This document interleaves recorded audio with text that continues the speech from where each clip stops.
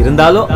இந்த மாதிரி ஒரு இடத்துல இந்த பீலிங்கில் உங்களை எப்பயாவது தானே பார்க்க முடியும் அதனால சைட்டு மட்டும் அடிச்சுக்கிறேன்